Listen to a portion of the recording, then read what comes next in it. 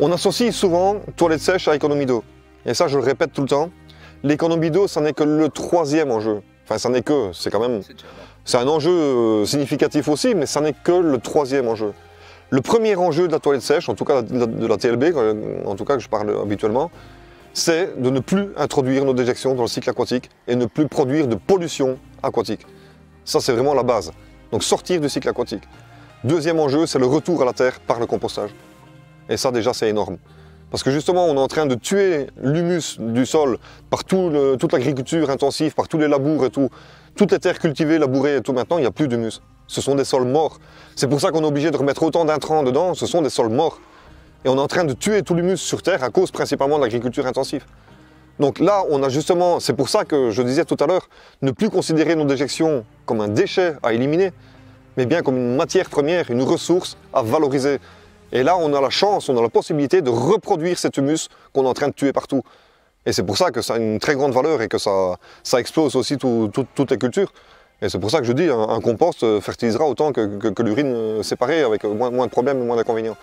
Mais euh, donc bien comprendre que c'est un enjeu purement écologique, qualitatif et productif, et pas que résumé à une simple économie d'eau. Ça, c'est vraiment fondamental.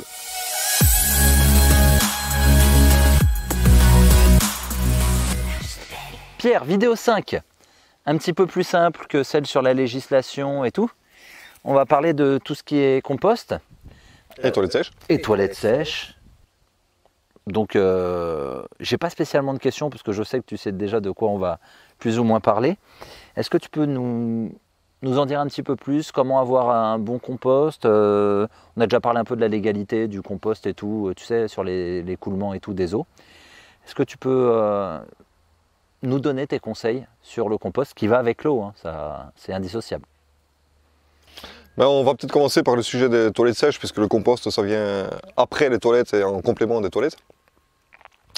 Euh, je vais peut-être commencer par euh, rappeler que ce concept, en fait, c'est pour moi un triptyque indissociable. Donc on a la toilette sèche qui va récolter tout ce qu'on met dedans, donc euh, nos petits et gros besoins. On a en complément de la toilette sèche le compostage qui va traiter les matières solides. Et en troisième élément du triptyque, c'est le traitement sélectif des seules eaux grises, donc les seules eaux ménagères qui restent à traiter sortant donc uniquement des, cuisines et des salles de bain.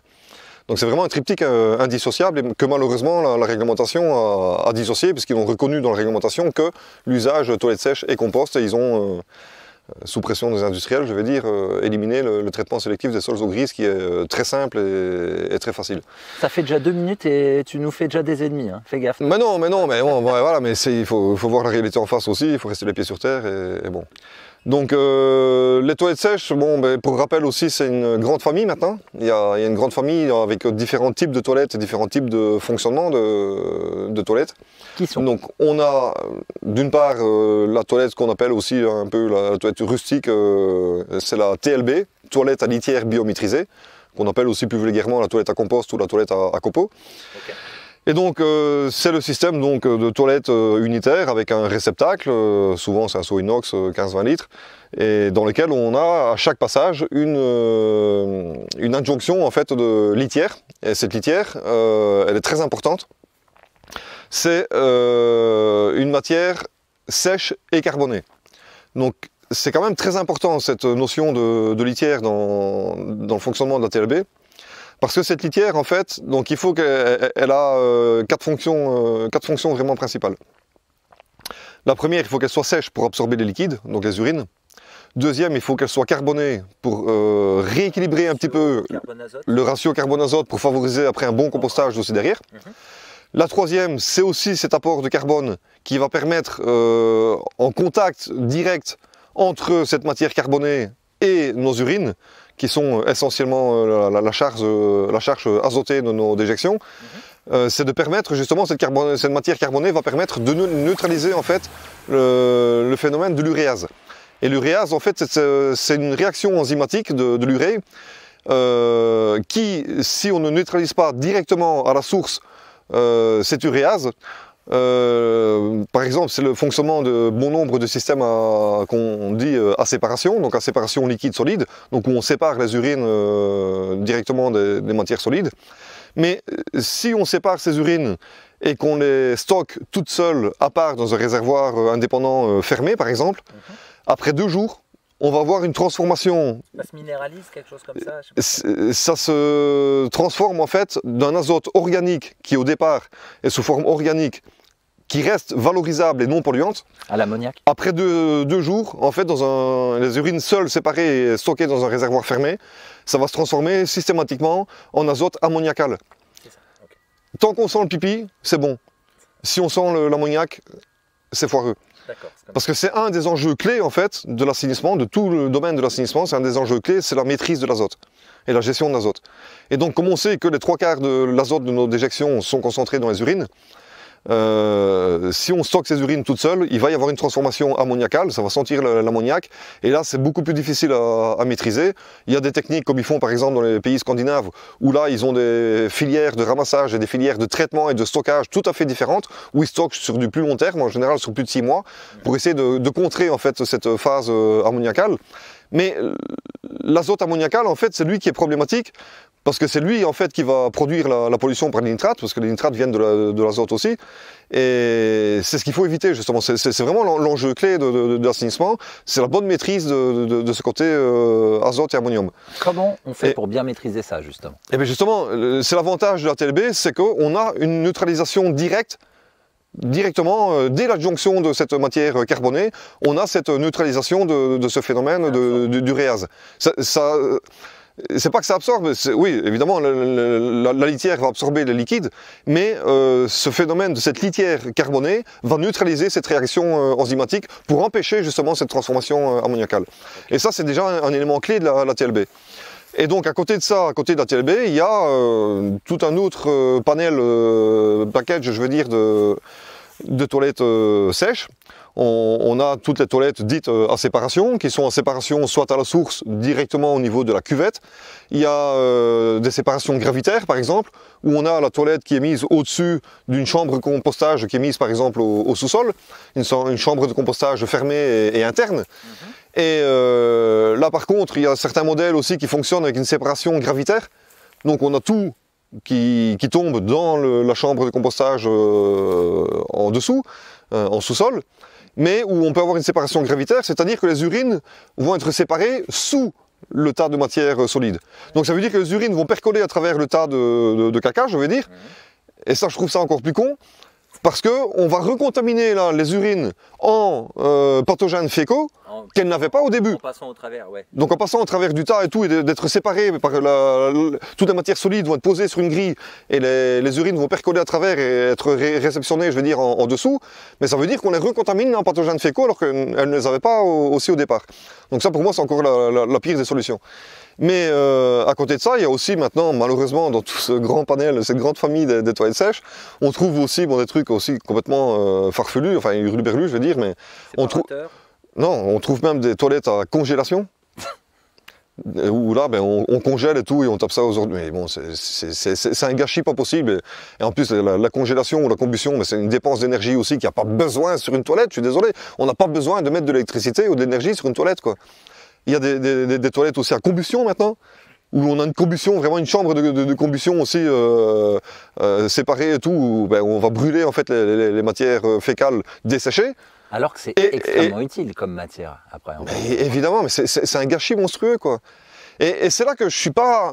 Moi, je suis. Euh, certains m'accusent d'être anti-toilette à séparation. C'est pas que je suis anti-toilette à séparation, mais. il, y a, non, mais c'est.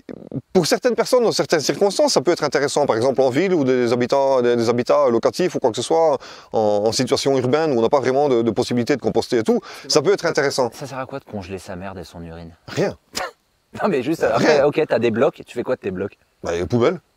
Ouais, ou pire, tu t'amènes. Donc, donc non, seulement on dépense de l'énergie bêtement et, inutilement, pour de toute façon retaper ces, trucs aussi à, la poubelle ou à la décharge. Et ça sert à rien. Ça reste un déchet. Ouais, moi je t'ai coupé, mais merci pour ça. Non, mais, non, mais tu, fais bien de poser la question aussi, mais euh, c'est ce qu'on essaye toujours de faire comprendre aussi aux gens.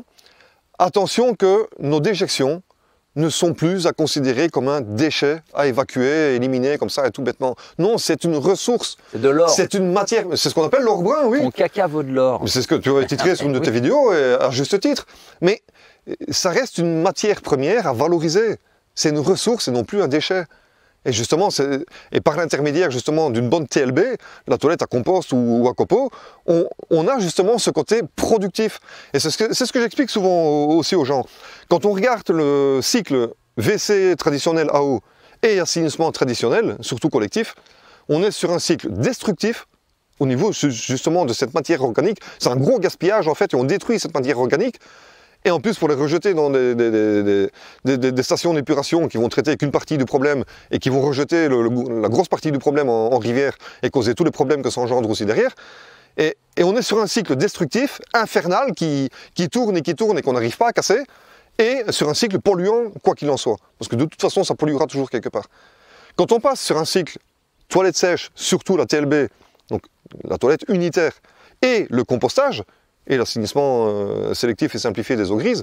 Là, on est sur un cycle vraiment productif au niveau de cette matière euh, organique qui est vraiment valorisée et qui devient un très bon compost à grande valeur humique. Ça devient vraiment un très bon humus. Ça se transforme bien. Et dans une phase aussi, quoi qu'il en soit, non polluante. Donc c'est vraiment deux mondes opposés. Quoi.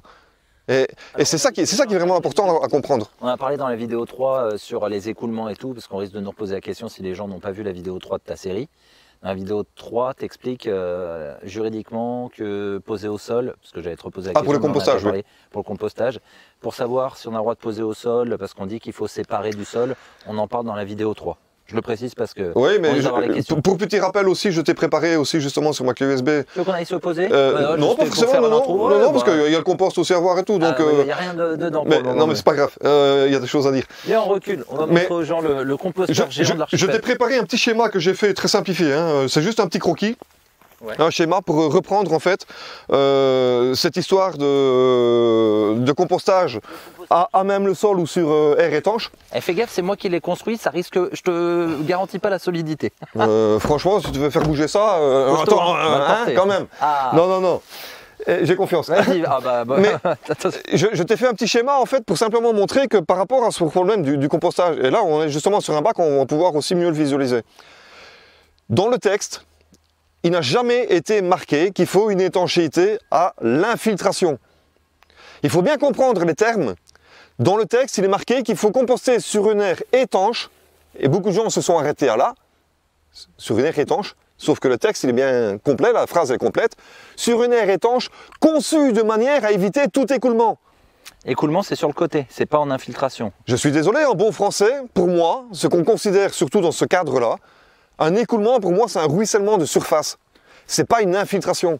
Si on pense à pénétration dans le sol, on ne prend pas le terme écoulement, on prend le terme infiltration. Donc soit ça a été mal nommé, soit ça a été mal interprété alors, d'après toi. Ou peut-être les deux. Mais quand on voit ce qui est écrit et ce qu'on doit respecter, c'est ce qui est écrit dans les textes, il est marqué étanche de manière, euh, conçu de manière à éviter tout écoulement. Donc pour moi, un écoulement, c'est que votre bac à compost, là, comme il est constitué par exemple, qu'il évite tout simplement un écoulement de surface hors de l'aire de compostage. Ça pour moi, c'est la juste interprétation du texte. Mais il y a, je ne sais pas pourquoi, il y a eu une interprétation généralisée de dire non, non, il faut composter sur une aire étanche au sol. Donc une dalle en béton, une bâche, une tôle ou n'importe quoi. Mais ça, je crois qu'il l'impose ça dans les. Je crois que l'avoir vu dans les collectivités qui nous disent qu'il faut. Mais bien sûr. Et beaucoup de spankers aussi, beaucoup de services spank et tout, ils disent Ah oui, mais non, mais non, non votre compostage, il n'est pas, pas conforme. Il faut que vous soyez sur une dalle en béton. Mais non Et qui a parlé dalle en béton? Ça n'est marqué nulle part dans la réglementation. Ne commence pas à t'énerver, Pierre. Non, mais... J'adore la Non, mais c'est vrai que ça m'énerve, ça m'horripile, ça, parce que ce ne sont que des interprétations hasardeuses. Lisons ce qui est clairement marqué dans le texte. étanche de manière à écouler tout écoulement. Mais, Donc, mal, mais mal interprété. Oui, et ça a été malheureusement une mauvaise interprétation généralisée. Donc si on veut parler d'étanchéité à tout écoulement, il faut éviter qu'il y ait un écoulement en dehors de, l'aire de compostage. Donc imagine par exemple, si tu veux être conforme à ce que dit le texte, il y a une simple réponse qu'on peut faire. Là, tu t'es fait un bac rectangulaire et tout, très bien. Mais non, viens, plutôt voir à l'intérieur. Viens plutôt voir à l'intérieur. Mais là, c'est le début, hein, j'ai pas encore ramené les matières. Non, non, non, mais regarde, par exemple. Il n'y a pas de il- truc sale. Je sais, m'en doute. Mais regarde, ici par exemple, à la base de ton bac, Ouais, là je peux passer les doigts, je sors de l'autre côté. Ouais. On est d'accord d'accord. Si tu veux avoir une étanchéité de manière à éviter tout écoulement, Je mets de la terre. Ou... tu prends simplement une tôle euh, alu, inox, euh, PVC ou n'importe quoi, tu prends une tôle, disons, de 20 cm, Ouais. Tu l'enterres de 5 cm dans le sol, sur tout le pourtour, ici, contre l'intérieur de ton bac. Ça n'a pas coulé, mais ça. Tu l'enterres de 5 cm et tout, et tu la laisses déborder de 10-15 cm, tu ne peux plus avoir de sortie de tout liquide en dehors du bac, en dehors de l'air de Plus compostage. de l'écoulement, c'est de l'infiltration. Si on fait ce que tu dis. On va éviter les écoulements. Sauf que, ce qu'il faut bien comprendre, et je crois que c'est ce que nous n'avions pas compris au départ les ministères, quand on prend par exemple les gros compostages collectifs des, des collectivités, où ils compostent tous les déchets végétaux, tous les déchets organiques et patati patata, on a des, des aires de compostage énormes. Là, ils sont sur des dalles en béton. Parce que c'est beaucoup plus facile pour la gestion, parce qu'en fait, ils ne gèrent, ils gèrent pas ça comme nous, avec une fourche ou une pelle ou une griffe, ils gèrent ça au bulldozer. Oui, c'est vrai en plus. Donc en fait, c'est beaucoup plus simple pour eux de gérer ça au bulldozer sur une dalle en béton. Sauf que quand on regarde ces dalles en béton, elles sont équipées de rigoles avec des réceptacles pour récupérer le lixiviate. Et ce qu'on appelle le lixiviate, c'est le jus, le jus infâme, c'est ce qu'on appelle le purin. Le jus infâme noir qui pue et tout, qui est produit justement par un compostage étanche. Dès lors qu'on va composter sur une dalle en béton, on ne produit plus du compost, on produit de la pourriture en surface du, du béton. Et cette pourriture va produire ce lixiviate. Et cette matière, elle est pas bien euh, sur le sol et tout, c'est pas bien? Ah ben non. Non. C'est ce, purin, ce jus infâme qui pue tout noir et tout. Et donc, sur ces dalles en béton, ils ont des rigoles avec des réceptacles pour récupérer le lixiviate. Et le lixiviate, ils le réinjectent après sur le tas pour le, le- le- le revenir, pour réhumidifier, et ils le remettent sur le tas. Sauf que là, on est sur un compostage à grande échelle. C'est bien ça qu'il faut bien comprendre, qui est géré au bulldozer et tout. Ici, voilà ce qu'on a. Le meilleur des compostages, c'est d'avoir un compostage à même le sol. C'est-à-dire que on doit avoir un contact intime avec le sol pour avoir cet échange aussi, cet échange avec toute la vie du sol, avec tous les, insectes, tous les micro-organismes et tout du, sol, et de faire respirer aussi le, compost et le sol.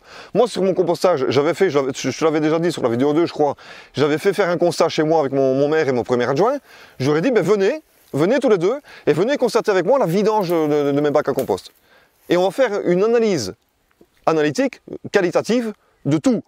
L'aspect visuel, oui, oui, ils sont venus. Ah oui. Et j'ai- fait un constat en quatre pages et tout, que j'ai même renvoyé au ministère aussi euh, pour, pour leur faire valoir. Bon, au ministère, on m'a simplement répondu Oui, bon, moi, c'est bien, vous, vous avez bien fait les choses et tout, enfin, tout le monde ne peut pas faire comme vous. T'as une médaille ou rien? Non, ils t'ont même Non, mais- merci. Ah bah non, euh, je t'aurais jamais merci pour ça.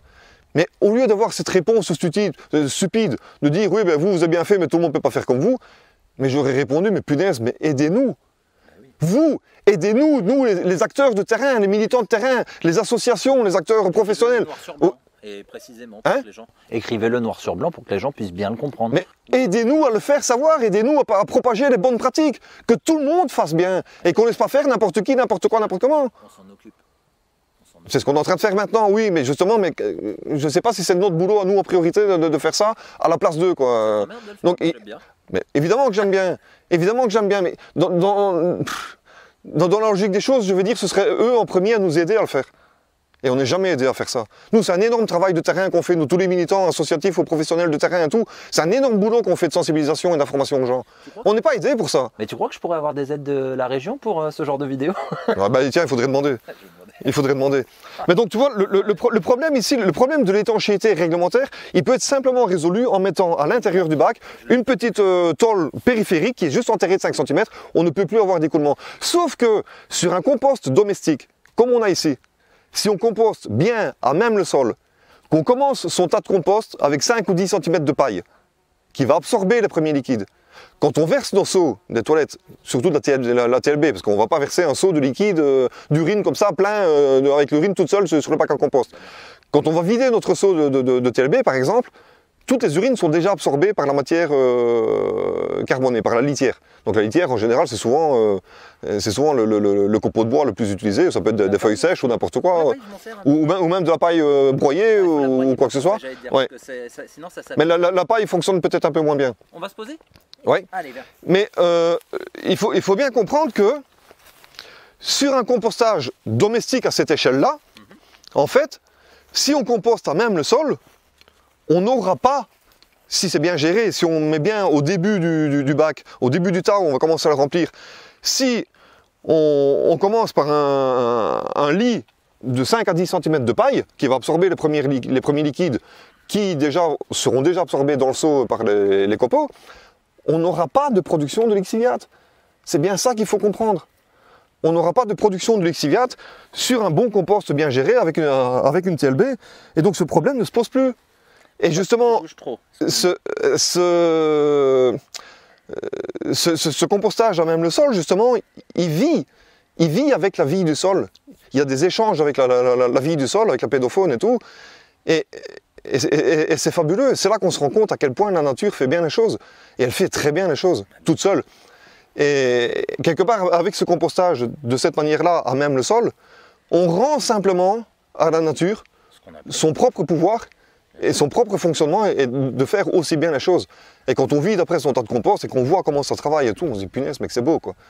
Et, on, peut croire que c'est contraignant et tout de, de, vider ou de, retourner ces bacs à compost et tout, mais pour moi c'est un plaisir. Mais c'est parce qu'on n'a aucune notion de ce qui se passe quand on appuie sur la chasse d'eau, on ne sait pas toutes les usines, tout ce qu'il y a derrière. Bah, c'est ce, que je dis souvent et c'est ce que je constatais aussi sur mon gîte euh, chez moi dans le Gers quand, j'avais mon gîte. Euh, tous les gens que j'ai accueillis chez moi, il n'y avait que des toilettes sèches sur le gîte, sur les trois chambres et sur les trois salles de bain. Et j'avais beaucoup d'étrangers aussi. Et, et j'étais même surpris de voir combien de gens, j'avais peut-être 90% des gens qui, ah oui, oui, les toilettes sèches, on a déjà entendu parler. Bon, ils connaissaient pas forcément, ils avaient peut-être pas forcément pratiqué déjà. T'as eu des gens qui ont eu envie de partir parce qu'il y avait des toilettes sèches Jamais. Ah ouais. Jamais. Jamais. Et, et, là, les gens étaient agréablement surpris parce que systématiquement, je leur montrais les toilettes et je leur expliquais le fonctionnement des toilettes et je leur expliquais l'enjeu des toilettes sèches. Et ils comprenaient. Et ils étaient super contents, la plupart, ils étaient vraiment ravis d'apprendre quelque chose.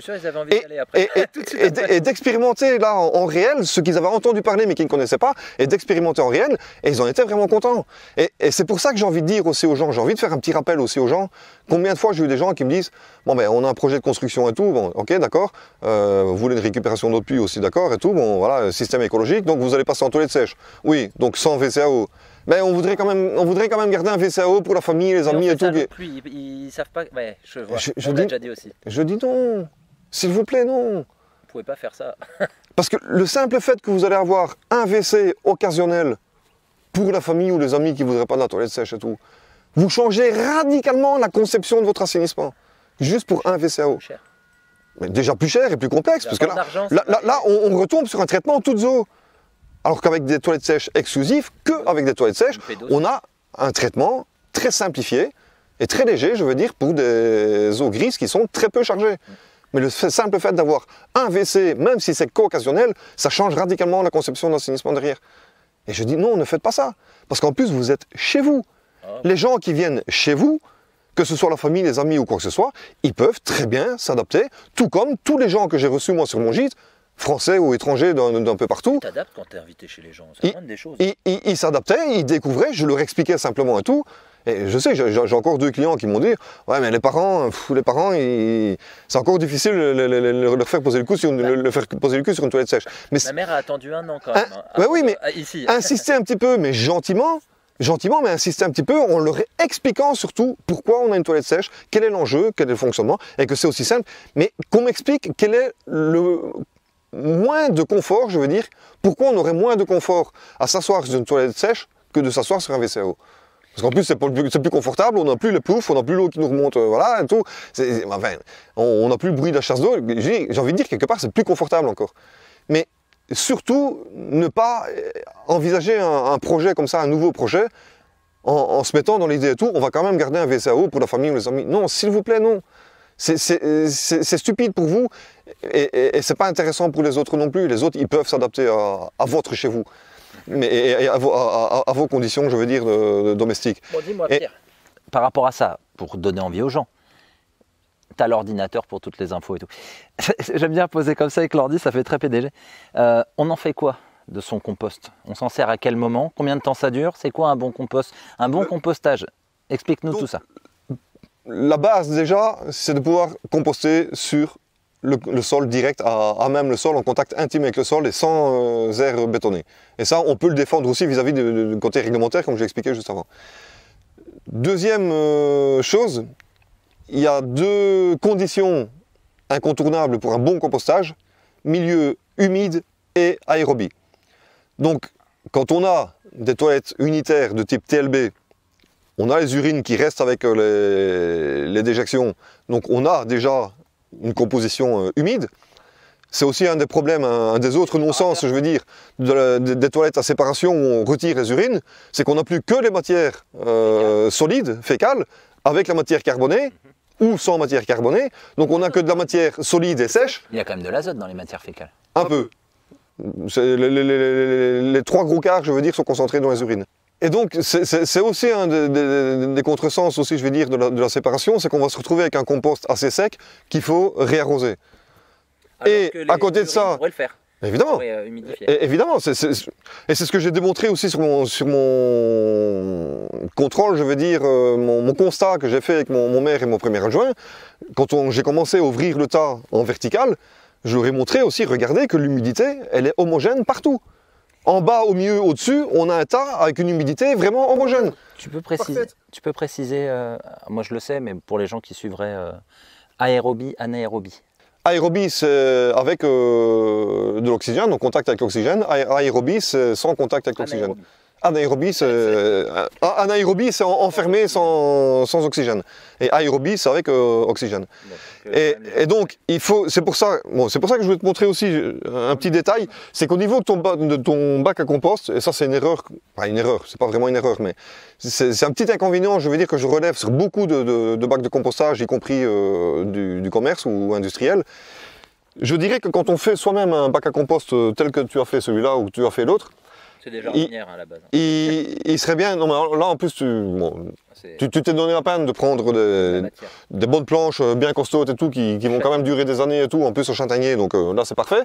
Mais à côté de ça, si tu avais monté tes planches juste avec un petit centimètre de jour entre chaque planche, ça aurait pas été plus mal. Parce, que ah ça favorise justement la ventilation. Non mais là il y a de la... Non mais il y en a, il y en a. Et on m'a dit par contre le problème c'est que ça risque de sécher très vite le fait d'avoir trop de, ventilation sur les planches, euh, on m'a dit fais gaffe parce que si tu veux planter, il faudra que tu arroses un peu plus parce que ça risque quand même de. Bon. J'ai jamais constaté un compost. Moi, moi, je, moi, mes bacs à compostage, on peut le voir aussi sur mon site euh, internet. On mettra le lien en description. Pas, sur mon site pro, mais sur mon site info, parce que j'ai mon site pro écologie.com et écologie.info, c'est mon site d'information. Et sur mon site info, là je vous recommande aussi, parce qu'au niveau réglementaire aussi, sur l'eau, l'assainissement et tout, j'ai quand même pas mal d'informations aussi très intéressantes qui sont développées. Mais j'ai aussi des, articles photos sur comment j'ai constitué mes, bacs à compost, c'est mon deuxième grand bac de maturation aussi. Mais on peut le voir, euh, mes, mes trois bacs, en fait, c'est simplement fait avec des palettes. Donc c'est complètement ouvert juste euh, grillagé à l'intérieur avec un, grillage à, petite maille, un grillage à poule, mais c'est complètement ouvert. Je n'ai jamais eu de compost desséché. Jamais, justement. Évidemment, sous réserve qu'on ait le bac à compost à l'ombre. Si on le laisse en plein cagnard, en plein soleil toute la journée, c'est sûr que là, ça va dessécher. Mais non, un compost, normalement, ça se remet euh, sous les, grands arbres ou quoi, euh, le plus possible à l'ombre, justement pour ne pas que ça, chauffe et que ça se dessèche, enfin, que, ça surchauffe pour dire de se dessécher. Mais euh, moi, j'ai jamais constaté ce problème-là. Mais par contre, avoir un petit centimètre simplement, ça permet une euh, bonne ventilation aussi, parce que comme je dis, milieu aérobie, donc ventilé et humide. Donc si on sépare les urines aussi et qu'on n'a plus les urines en tant que liquide, ça veut dire qu'il faut réarroser. Ça veut dire qu'à côté de ça aussi, si on veut, ce que beaucoup de gens parlent maintenant de la valorisation des urines euh, au jardin ou en agriculture, mais c'est pareil, les urines, normalement, on ne peut pas les utiliser euh, pures. Il faut les rediluer avec de l'eau. Donc c'est là aussi, pour moi, un, des grands contresens. Utiliser de l'eau pour réarroser son compost parce qu'on a retiré les urines et euh, rediluer les, urines avec de l'eau parce qu'on veut arroser avec. Ça sert à quoi d'utiliser une toilette sèche alors? Et c'est vrai qu'il y a quelque chose qui, m'agace un peu dans, tout ce discours avec la valorisation de l'urine au jardin ou en agriculture. J'aimerais bien qu'on m'explique concrètement et franchement en quoi un bon compost unitaire, qui a quand même une grande valeur humique, serait moins fertilisant que les urines euh, diluées avec de l'eau. Mais on peut juste le voir au résultat. Tu compares les, humus euh, au final et tu regardes celui qui est le plus riche, le mieux. Bon, pour, rappel aussi, euh, par rapport au compost, il y a trois manières de composter. On peut composter en bac, en petit bac ou en grand bac. Là, par exemple, j'ai vu que tu as fait des grands bacs quand même en longueur je me permettrais peut-être de te recommander, c'est de composter plus en hauteur en début et d'avancer euh, en ligne. Parce que la, la, la, hauteur favorise aussi la fermentation, la remontée en température et tout. euh, donc plutôt que de faire tout à plat et de monter en couche, je pense que c'est pas plus mal de, de monter en tas et d'allonger le tas comme ça en ligne euh, petit à petit. Noté, chef. Et on m'appelle pas chef. Deuxième possibilité, c'est en tas. Donc si c'est pas en bac fermé, c'est de composter tout simplement en tas et de recouvrir avec de, la paille. Mais il est aussi possible de composter directement euh, à même le sol. C'est ce qu'on appelle le compostage de surface. Et j'ai deux clients par exemple qui ont procédé comme ça. Et un, il, m'a dit, bon, ils avaient acheté leur maison il y a une dizaine d'années. Ils sont passés directement en toilette sèche. Et ils ont une grosse haie euh, laurière séparative euh, entre chez eux et le, le voisin en, en limite de propriété. Et toute la haie laurière, là, euh, elle faisait un peu la gueule, elle commençait un peu à dépérir et tout. Et elle a dit, tiens, pourquoi pas essayer? Et il s'est dit, au lieu de composter en bac et tout, ben, je vais essayer de composter directement en surface au pied de ma haie pour voir ce que ça donne. Il a des arbres maintenant. Ah ben, dès l'année suivante et tout, pouf, ça y est, il est reparti et tout. Et il a dit à un de ses copains aussi qu'il lui, il avait un gros vieux euh, poirier, un gros vieux pommier euh, chez lui qui était en train de dépérir aussi. Il a dit putain, essaye, de faire la même chose que moi. Au lieu de composter directement en bac et tout, essaye de composter en, en surface comme ça, directement même le sol, en recouvrant évidemment de, matière, de, déchets végétaux, de feuilles ou de, de paille ou n'importe quoi. Il ne faut pas le laisser comme ça évidemment à l'air libre. Et euh, essaye de faire ça au, au pied de tes arbres et tu verras. Allez, viens, on se lève. Et- Je, vais, montrer en image ce que tu Et- es en train de dire. Et, et deux, deux ans, de deux ans après, ben, son pommier et son, et son poirier sont partis, quoi. Ils ont été reboostés complètement, quoi. Donc, il faudrait qu'on m'explique en quoi un bon compost Regarde, unitaire. ça te parle Ouais. Dessous, il y a mon caca. Bah oui, bah oui. Mais en quoi un bon compost unitaire serait moins fertilisant et moins performant que l'urine sol? Pour moi, la, séparation d'urine engendre plus d'inconvénients et de problèmes que vraiment d'a- d'a- d'avantages et de, résultats beaucoup plus probants. Franchement, en plus, mes arbres, ils sont, en pleine forme. On s'est tapé des sécheresses. Ça a déjà bien protégé. Lui, bon, lui, c'est euh, réticulata. Je crois que c'est euh, mandarinier. Il est un peu ou clémentinier, je sais, je- mandarinier, je crois. Mais euh, Féjoa, je les ai pas arrosés. Là, j'ai presque rien arrosé. Regarde le fait d'avoir mis de la matière. Il y a aussi un peu de crottin de cheval, tu vois, vu que je vais, euh, j'ai j'ai un ami qui en a et il nettoie ses box et je récupère. Et là, dessous, c'est Ouais. mes sauts de caca. hein. Ouais, mais c'est pas très gai ce qu'on dit, mais. non, mais si, si- si on gratte un petit peu en dessous là-bas et tout, je, je suis. pas, là, je te je- je- non mais je, je suis, je suis sûr que le sol il est, il est encore frais quoi, il, il est frais, il est humide et tout, euh, sans, sans pleuvoir et sans arroser quoi. Regarde la matière. Bah oui. Non, non, mais Donc, évidemment- illustrer ce que tu dis. Mais par contre, que ce soit dans un bac, donc que, que ce soit dans un bac ici, ou en compostage de surface ou en tas, de toute façon, ne pas oublier non plus que systématiquement, chaque seau qu'on vient euh, vider au compost, il faut tout le temps le recouvrir. Donc que ce soit avec de la paille, que ce soit avec de l'herbe, avec des déchets végétaux, avec des feuilles, euh, avec du copeau euh, ou de la cire ou n'importe quoi, il n'y a, y a pas de souci. Parce qu'il y a des gens qui me disent parfois et tout, oui mais bon j'en ai marre d'aller bien loin en compost et tout euh, avec mes seaux. Mais je dis, ben, rapprochez-les de la maison. Ah ben non, un compost ça pue. puer. Ah ouais, voilà. Ben, pourquoi votre compost il pue? Ben, Parce que c'est normal, un compost ça pue. Non. Mais non Non Et ma- maintenant j'ai toujours le réflexe de demander, mais quand vous avez vidé votre seau, vous recouvrez le contenu du seau sur le compost? Ça, c'est une erreur. Oh ben non, pourquoi? Ben si, c'est pareil. Si euh, Si vous le faites dans vos toilettes, pourquoi vous le faites pas dans le composteur j'avais pas fini tout à l'heure, j'avais commencé les, quatre fonctions principales de la litière. Donc sèche pour absorber les liquides, carbone pour le rapport carbone-azote, carbone pour neutraliser la réaction de, de l'uréase, et la quatrième fonction qui est très importante, c'est de neutraliser systématiquement les odeurs. Que ce soit dans la toilette ou également sur le compost. Donc c'est-à-dire qu'un bon compost bien géré, si à chaque seau qu'on va vider, on recouvre un petit peu, juste sommairement, il n'y a pas besoin de refoutre un seau, hein, juste que ce soit lé- légèrement euh, recouvert euh, complètement, ça neutralise systématiquement les odeurs. On Et on n'a pas un compost qui pue du tout. Mais on parle du ratio carbone-azote, c'est quoi le ratio? Il est de combien? 1 pour 3, 1 pour 4 Euh, non, non, je crois que c'est. Il faut rééquilibrer à peu près un 1 pour 7, je crois. et- Alors alors que les urines, les urines, je sais plus, mais je me demande si on n'est pas euh, 1, 1 pour 30 ou quelque chose comme ça. Et ou sur un- quoi? Sur l'azote ou sur le car... 1, 1 azote, 7 carbone? Euh, Non, je crois que c'est un, un carbone, 7 azote, il me semble. Parce que les. les- Bon, les- ça, on ira à, à vérifier en Ouais, je, commentaire. je, je, je, je suis plus sûr. Oh, je vais Et- poser une colle. Oh, j'ai réussi à coller ouais. Pierre. Et parce que je me demande si les, les- les urines elles-mêmes, je me demande si c'est pas un ratio de 1,30 ou 1,35, quelque chose comme ça. Et donc c'est- trop fort en azote en fait. On mettra ça en description. Et, pff, allez. Tu te fais attaquer. Et euh, donc voilà, ça, ça, c'est les règles aussi du compostage, je veux dire. Donc milieu humide, aérobie, et de chaque fois ne pas oublier quand on commence un, un tas ou un bac commencer sur un lit de 5 à 10 cm de paille. Et là, on est sûr qu'on a une bonne absorption, je veux dire, d'éventuels liquides. Parce que comme je dis, quand on va vider son... Avec une TLB, par exemple, une TLB euh, unitaire, où on a les matières et les, urines, mais la, litière, elle a absorbé les urines. Donc quand on vide son seau, on n'a pas un seau liquide en fait. C'est un seau de matière humide, mais ce n'est pas un seau liquide. Donc on n'a pour ainsi dire pas d'infiltration de, liquide. Et pour preuve aussi, quand, j'ai fait ce constat avec mon, maire et son premier adjoint, quand j'ai eu fini de vider euh, mon premier et mon deuxième bac, j'ai pris ma pelle et j'ai pris une croûte sur le sol. J'ai pris une croûte d'à peu près 3 cm d'épaisseur. Que j'ai scalpé comme ça, je vais dire, sur le, sur le fond du sol, euh, sur le fond du trou, et, enfin le fond du bac. Et j'ai retourné cette, euh, cette coupelle scalpée, je vais dire, du, sol. Et en fait, c'était noir au-dessus. Quand je l'ai retourné, c'était couleur argile. À 3 cm, c'était même pas noir. Donc c'est pour ça, il ne faut, il faut pas croire qu'on va avoir une pollution comme ça qui va s'infiltrer et aller polluer le sous-sol, polluer les eaux en sous-sol et tout. Non, absolument pas. Tout reste dans le bac en surface et il y a très peu qui pénètrent. Et même s'il y a quelque chose qui pénètre un peu, ça, a été euh, déjà euh, absorbé euh, par, la matière carbonée, donc l'uréase a déjà été neutralisé, donc on n'est pas sur un azote ammoniacal qui sera polluant, on reste sur un azote organique, qui est valorisable et non polluant. Et même si ça pénètre plus bas dans, le sol, ça va être travaillé par le, encore une fois, ce qu'on rappelle, le pouvoir épurateur du sol et par toute la vie du, sol sur les, 40 ou 50 premiers centimètres et tout.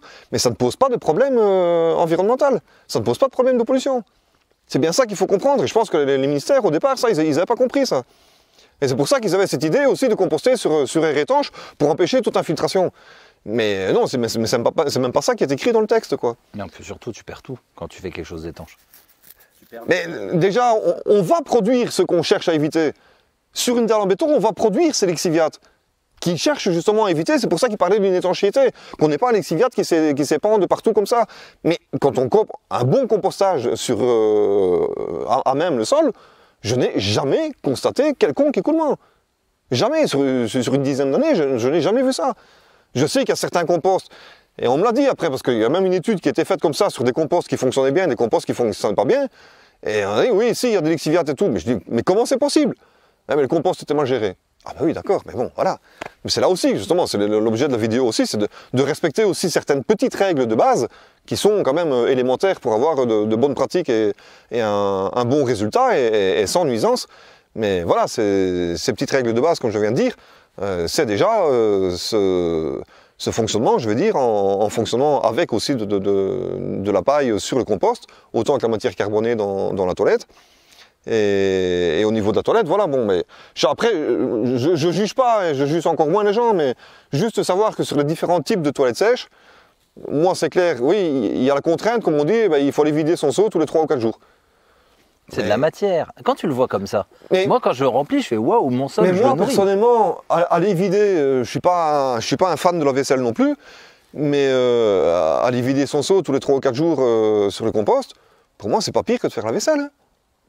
Mais après, quand on récupère son compost, déjà, après la première année, quand je retournais mon compost, c'est ce que je disais tout à l'heure, punaise, mais c'était un plaisir, un plaisir de voir comment, comment la nature fonctionne, comment les matières se dégradent déjà, avoir toutes ces couleurs différentes et tout, par, par strate, par, par, couche et tout, sur le compost et tout. Il n'y a, plus rien, il n'y a plus de matière. Ce, n'est qu'un tas de copeaux, je veux dire, avec différentes couleurs, euh, humides.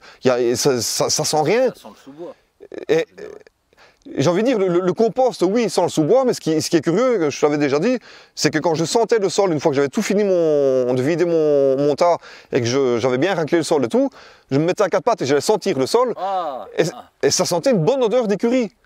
Même pas de cheval, mais vraiment l'odeur d'écurie. C'est bizarre, c'est curieux, je ne sais pas pourquoi, mais ça sent pas du tout quoi que ce soit de, de, de, nauséabond, je veux dire, ou... Non, et, même le compost, après un an, quand on le sent... Euh, oui, c'est une odeur de sous-bois, c'est une odeur d'humus, vraiment. Et c'est un véritable humus. Dis-moi, Pierre, euh, quelles sont les choses qui se compostent mal, organiques, qui, ont du mal à.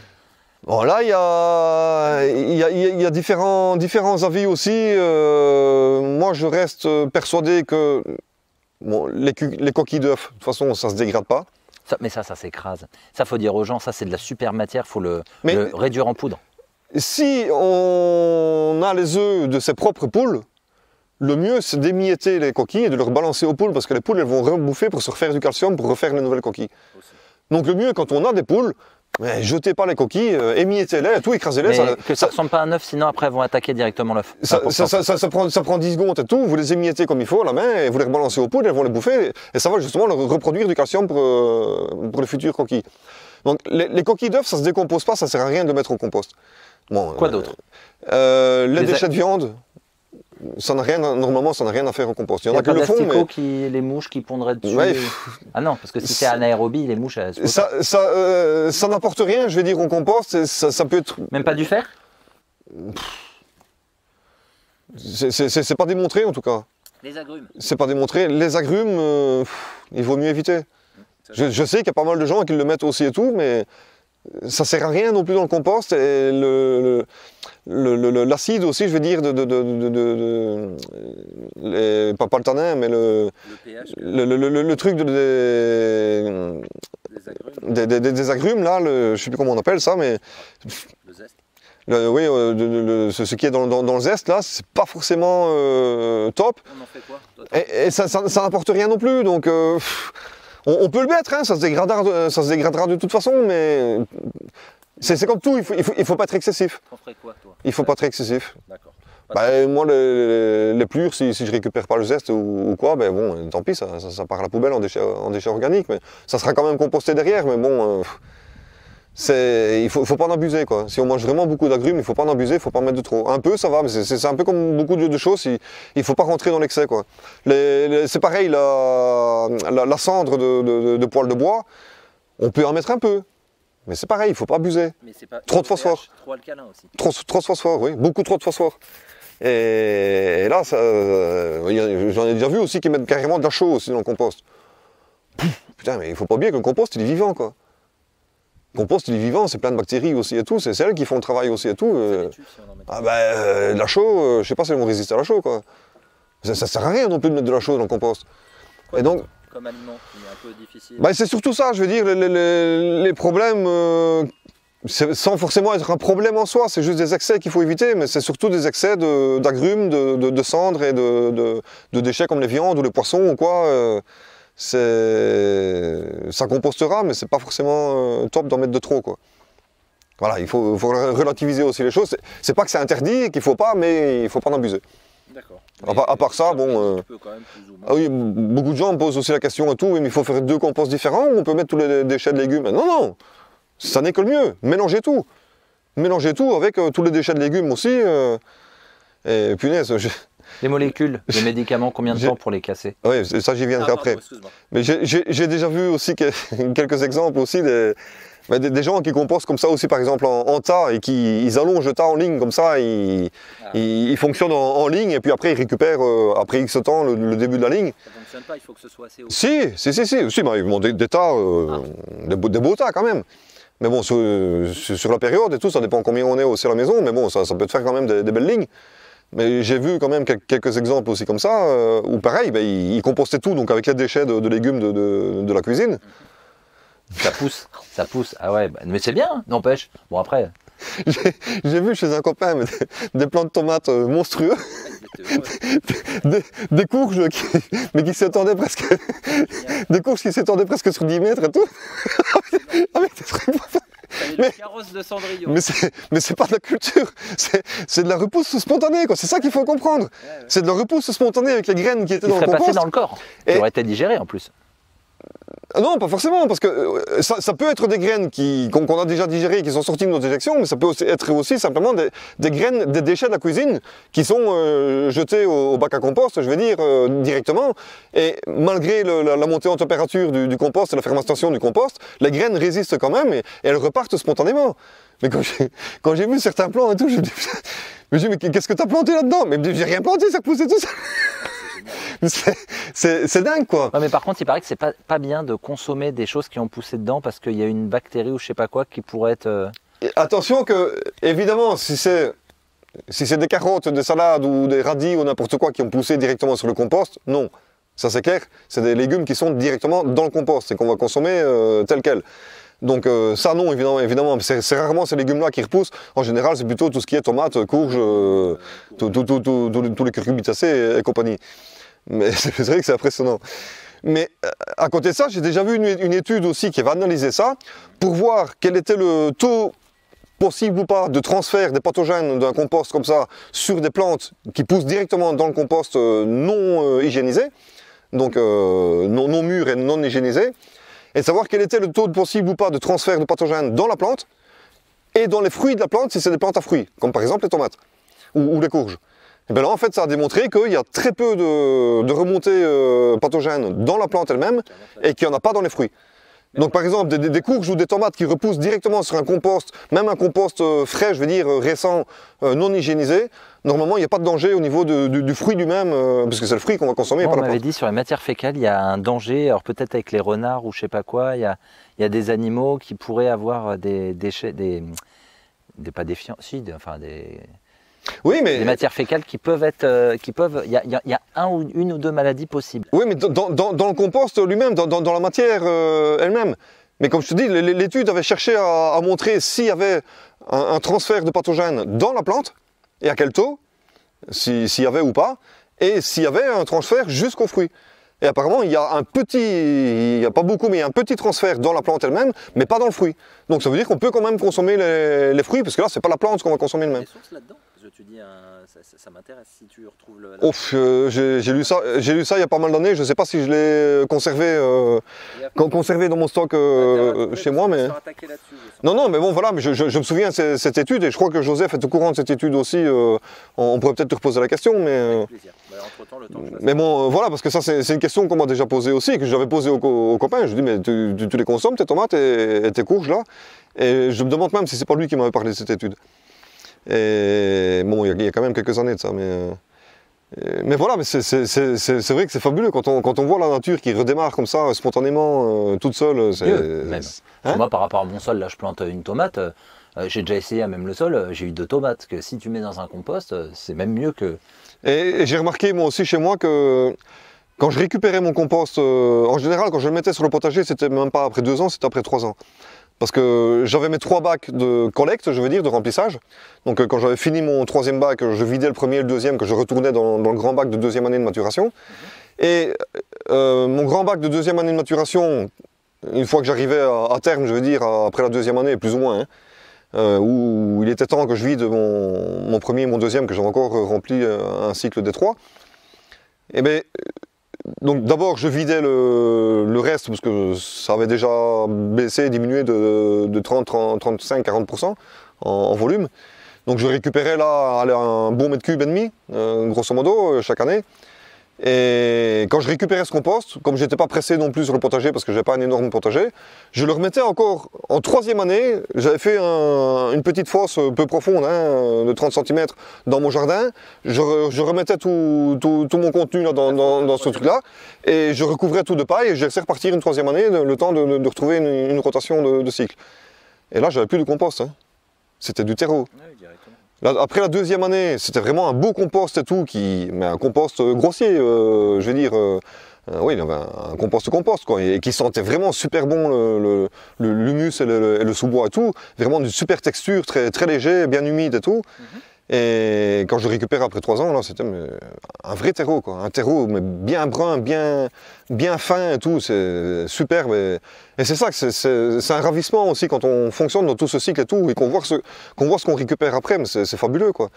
Et ce compost, quand je le récupérais en tant que terreau, je le remélangeais à 50% de, de terre, parce qu'il ne faut pas trop l'utiliser euh, pur comme ça, parce que c'est quand même assez riche. Justement, c'est- très riche, très fertilisant. Et donc je, le remélangeais à 50% terre, mais je remarquais que j'avais euh, certains, légumes qui avaient, même, euh, qui, avaient même du mal, parce que je pense que c'était encore trop riche pour certains légumes. Et c'est pour ça que j'aimerais bien qu'on m'explique en quoi un bon compost comme ça, bien unitaire et tout, euh, non séparé, et, et bien géré, j'aimerais bien qu'on m'explique en quoi c'est moins fertilisant que, l'urine toute seule diluée avec de l'eau. Ça, c'est quelque chose que, j'arrive pas à comprendre. Et, et je vois pas l'intérêt de... Enfin, je, je reviens un petit peu souvent sur ce que je dis, la, la- la devi- la- la- la devise euh, typiquement française. euh, pourquoi faire simple quand on peut faire compliqué quoi? J'ai deux questions. Tu as 11 minutes encore devant toi. Par contre, oui, tu me parlais des pathogènes. les médicaments. Les, les- médicaments. Euh, ça aussi, c'est des réactions spontanées, je veux dire, que beaucoup de gens qui ne connaissent pas ont et tout. euh, Ouais, mais euh, c'est bien beau tout ça, mais après, après, vous faites quoi avec les pathogènes? Avec les médicaments? Les médicaments. Donc tout ce qui est hormonal, tout ce qui est contraceptif, tout ce qui est médicamenteux et tout, euh, c'est un gros, gros, gros problème ça de l'assainissement. Quand on sait que l'assainissement traditionnel, même collectif, avec les stations collectives, où tout repart justement en rivière, ça ne traite rien du problème médicamenteux. Ça, il faut qu'on soit clair, ça ne traite rien du problème médicamenteux. Ce qui veut dire que tout le problème médicamenteux repart systématiquement en rivière. Peut-être dans une petite rivière qui va se rejeter dans une plus grande, qui va se rejeter dans un fleuve. Fini dans la mer au final. Sauf que il y a beaucoup de collectivités sur le fil de la rivière, de la plus grosse rivière, du fleuve et tout, qui elles vont aller repomper dans ces rivières pour reproduire le cycle de l'eau potable. Ce qui veut dire que c'est un cycle infernal qui n'arrête pas de tourner. C'est ce que je t'ai déjà expliqué dans la deuxième, je crois, ou troisième, je ne sais plus.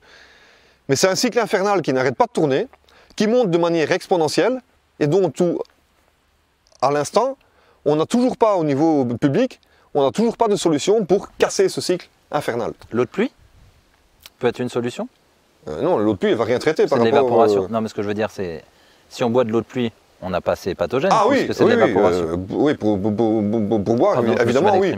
Mais je veux dire, il y a, il y a un énorme problème, justement, c'est ce rejet dans le cycle aquatique. Et justement, c'est le fond d'assainissement. Il faut absolument éviter de rejeter nos déjections dans le cycle aquatique. Ou les rejets même de, l'assainissement dans un cycle aquatique. Puisque là, ce sera, c'est ce que je disais tout à l'heure, c'est inévitablement polluant. Donc au niveau de tous ces problèmes, hormones, euh, contraception, médicaments en, en pagaille et tout, le seul moyen que je connaisse, moi, réellement, concrètement, c'est le compostage, hors sol, hors cycle aquatique. Et si maintenant on imaginait que le compost ne traite que 50% du problème médicamenteux, ça revient à dire quand même que c'est quand même 50% de plus que le circuit traditionnel, l'assainissement traditionnel. Il n'y a pas eu de test là-dessus si. si. quoi. Et Joseph l'a aussi euh, largement démontré qu'un bon, Autarcie, hein, je le rappelle. Ouais, autarcie, point- autarcie avec un E au début, euh, autarcie.org, donc euh, Joseph Orzag, euh, le- la grande référence internationale sur tous pas ces sujets. un de ces quatre, il faudrait vraiment qu'il puisse intervenir. Il vient des fois dans le sud de la France?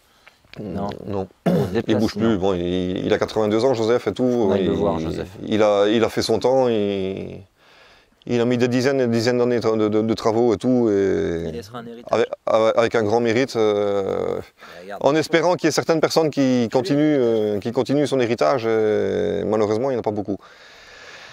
Et pour, pour, info, pour info, petit scoop aussi, euh, Joseph a déjà sorti euh, dernièrement son gros bouquin qui va compléter son site internet, euh, un peu comme toi.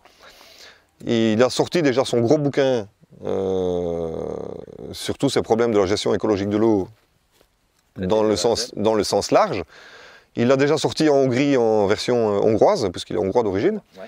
Et il est en train de finaliser là, son bouquin en version française qui sera, à mon avis, euh, publié la courant de 2021. Donc là, évidemment, on vous en tiendra informé parce que ça va encore être euh, une grosse étape. Une. Mais euh, voilà, il, il explique tout ça de, de long en large. et Il a déjà analysé ça de long en large aussi, in situ, en labo et tout. Et il explique aussi qu'une partie des résidus médicamenteux seront éliminés selon leur euh, forme et d'autres seront neutralisés, donc seront rendus bio-indisponibles. Donc même s'ils sont encore présents, comme certains autres toxiques, euh, même si les substances sont encore présentes euh, dans le produit fini, On pas ils ne sont plus actifs. Ils sont sous forme bio indisponible, ils ne sont plus sous forme active et donc ils ne posent plus de problème, même s'ils sont toujours présents en état de, de trace. Et donc le compost est vraiment très puissant.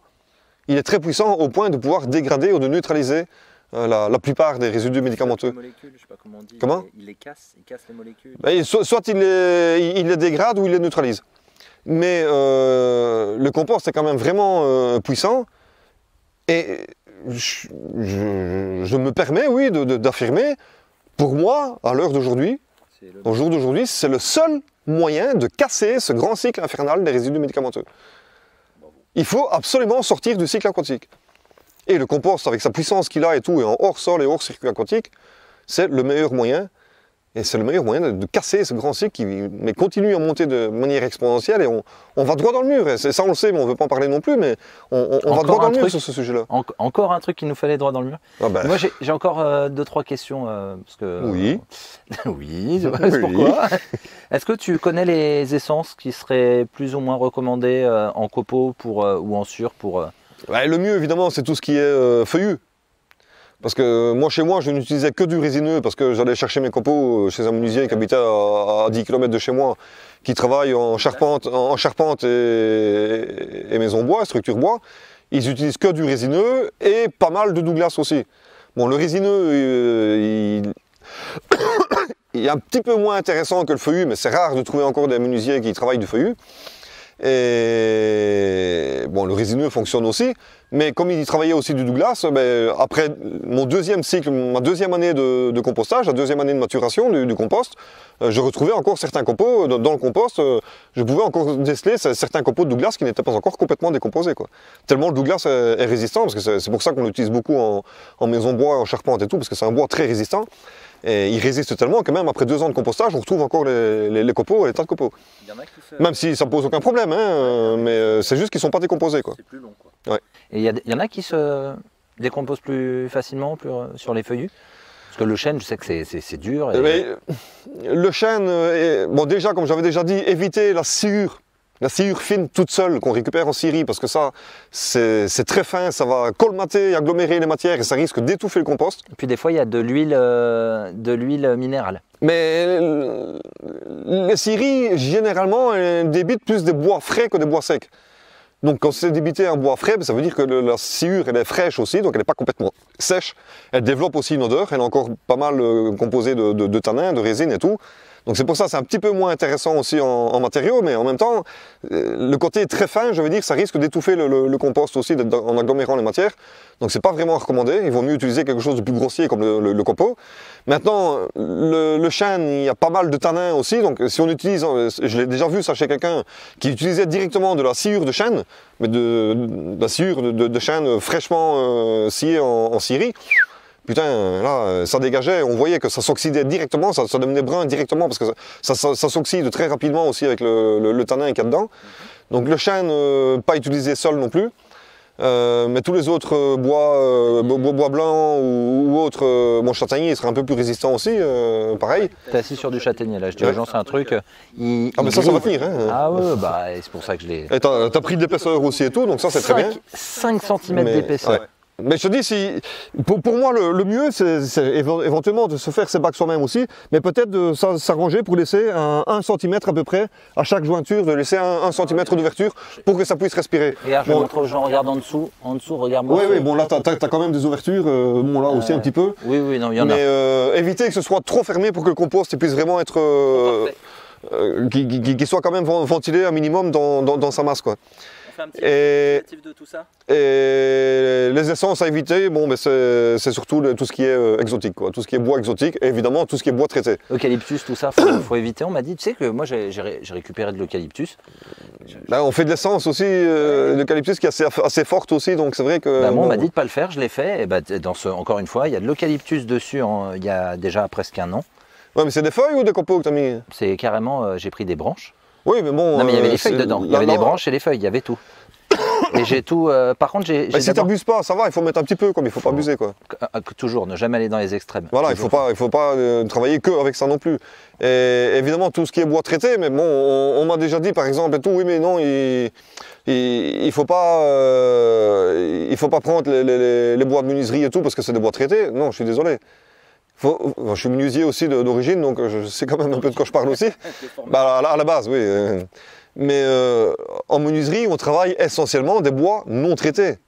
Les bois qui sont traités et qu'on vend un peu partout dans les bricots et tout, c'est surtout les bois de charpente. Donc c'est tout ce qui est poutre, chevron, euh, li- li- lito et tout, qui sont les bois de charpente qu'on utilise direct sans les travailler. Donc eux, ils sont traités et tout parce qu'on les travaille pas, on les usine pas. Mais les bois qui sont usinés en, en menuiserie, c'est des bois euh, neufs, je veux dire, euh, non traités. éventuellement, selon la destination, ce sera traité après, mais pas quand on, pas quand on travaille en, en menuiserie. Quoi. Donc il ne faut pas avoir peur de les récupérer, justement, ça les, ça les désencombre, euh, pri- prioriser, je veux dire, justement, le- les, copeaux qui sont en, en menuiserie, parce que soit ils les brûlent et ça pollue, ou alors ils doivent payer pour les mettre en déchetterie et ils ne savent pas quoi faire avec, donc ça les débarrasse aussi, et voilà. Ou alors acheter, acheter les ballots éventuellement, de, les ballots de copeaux qu'on peut acheter en, en animalerie ou chez les copeaux ou ailleurs. euh, bon, voilà. Pierre, il reste une petite minute. Est-ce que tu avais des choses à dire ou est-ce que on, on clôt ce beau chapitre? Merci pour ce tour d'horizon. Bah, je pense qu'on a déjà. Oui, si, il y a un truc quand même fondamental. On peut terminer par là. Un truc fondamental qu'il ne faut pas oublier. Encore une croyance aussi de beaucoup de gens, malheureusement, mais parce qu'on ne leur a pas appris non plus. On associe souvent toilette sèche à économie d'eau. Et ça, je le répète tout le temps. L'économie d'eau, ça n'est que le troisième enjeu. Enfin, ça n'est que, c'est quand même c'est un enjeu euh, significatif aussi, mais ça n'est que le troisième enjeu. Le premier enjeu de la toilette sèche, en tout cas de la, TLB, euh, en tout cas que je parle habituellement, c'est de ne plus introduire nos déjections dans le cycle aquatique et ne plus produire de pollution aquatique. Ça, c'est vraiment la base. Donc sortir du cycle aquatique. Deuxième enjeu, c'est le retour à la terre par le compostage. Et ça, déjà, c'est énorme. Parce que justement, on est en train de tuer l'humus du sol par toute l'agriculture intensive, par tous les labours et tout. Toutes les terres cultivées, labourées et tout, maintenant, il n'y a plus d'humus. Ce sont des sols morts. C'est pour ça qu'on est obligé de remettre autant d'intrants dedans. Ce sont des sols morts. Et on est en train de tuer tout l'humus sur Terre à cause principalement de l'agriculture intensive. Donc là, on a justement, c'est pour ça que je disais tout à l'heure, ne plus considérer nos déjections comme un déchet à éliminer, mais bien comme une matière première, une ressource à valoriser.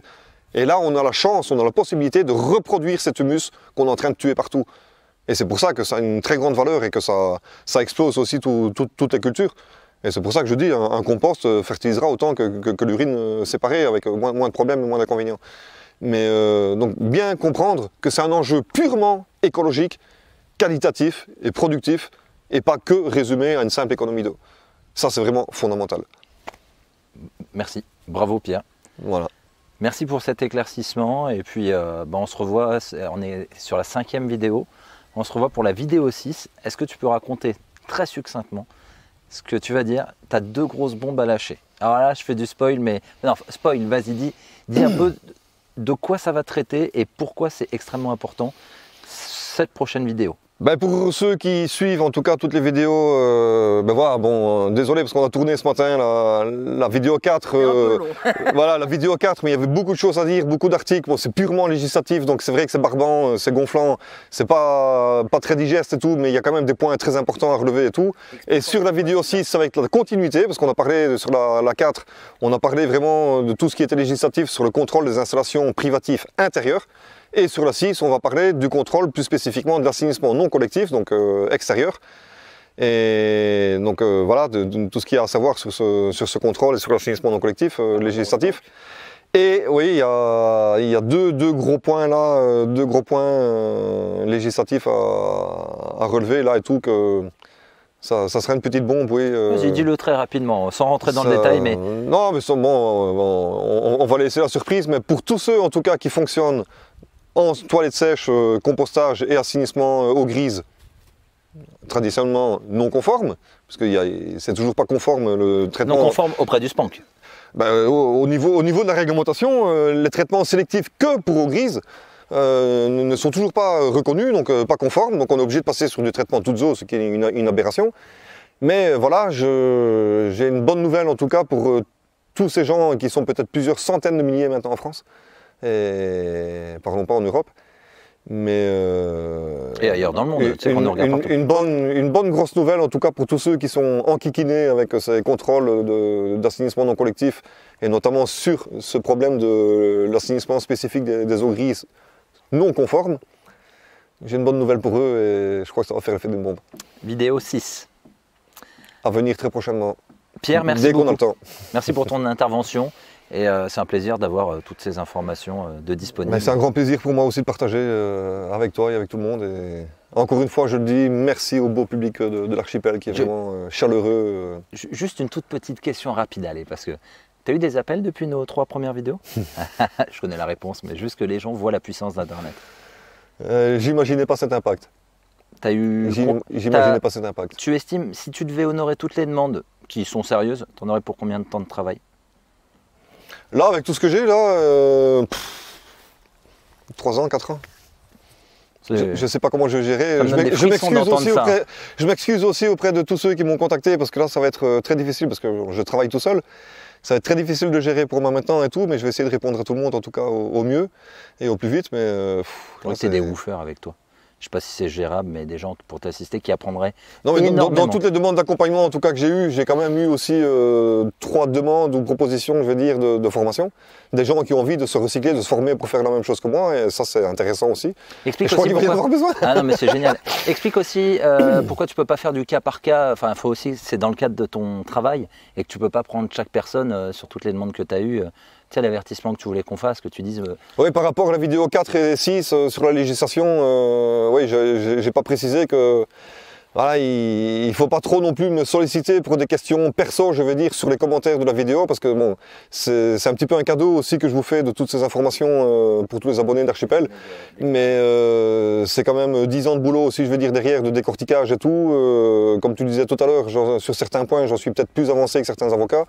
Et je suis pas avocat, je suis pas juriste, hein, mais bon, j'ai quand même, quand même pas mal euh, travaillé aussi de leur côté pour euh, assurer ce que j'affirme en tout cas.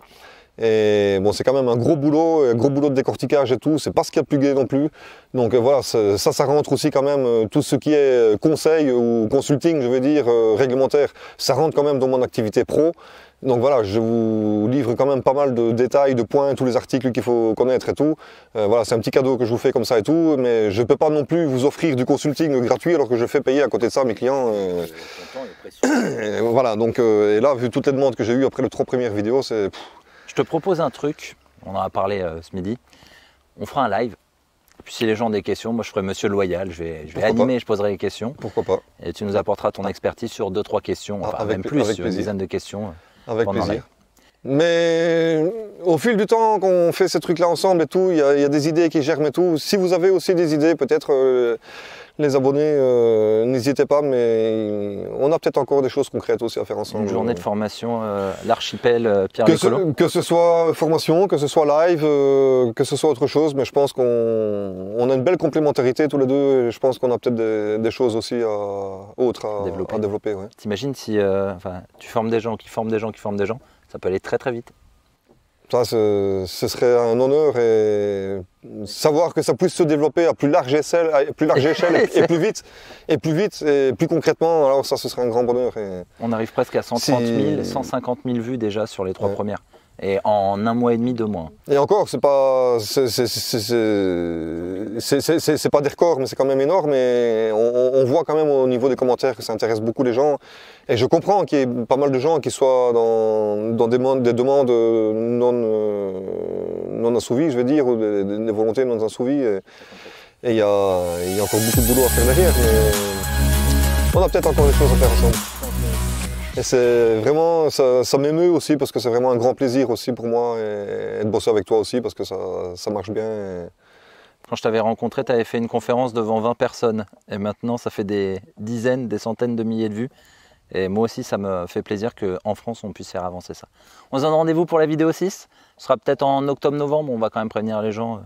Euh, Ouais, attendons ce un sera- peu. Entre ton actualité et la mienne, pense- c'est ouais, parce que là, je, je vais encore être parti euh, deux semaines et demie sur chantier, là, en déplacement compl- complet et tout sur le centre-est. Et, et octobre, je serai encore reparti deux semaines aussi, donc euh, ça, ça va encore être chaud. Donc euh, peut-être. Plains-toi, euh, plains-toi. Il y, a- il y a du boulot, ça fait plaisir. Ah oui, non, bah, évidemment, ça, ça- ça- ça me fait plaisir, mais je veux dire, pour tes, tes abonnés, voilà, tes lecteurs, euh, tes auditeurs, je veux dire, ce sera peut-être pas avant euh, début octobre. Quoi. Donc, euh, Écoute, euh, déjà, je pense qu'avec tout ce que tu nous as fourni aujourd'hui sur la vidéo 5 et la vidéo Mais- 4 et 5, fait- Faites-le Alors- savoir autour de vous si vous connaissez des gens.